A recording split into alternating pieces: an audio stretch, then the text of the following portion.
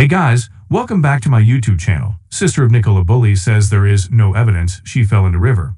Louise Cunningham asks people to keep open mind as search for missing 45-year-old enters night day.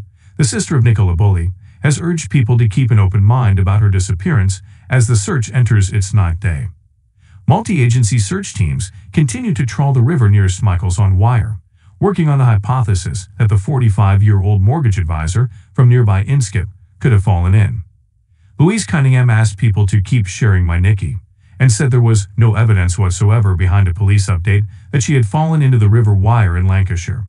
She wrote on Facebook, Off the back of the latest police media update, please can I add there is no evidence whatsoever that she has gone into the river. It's just a theory.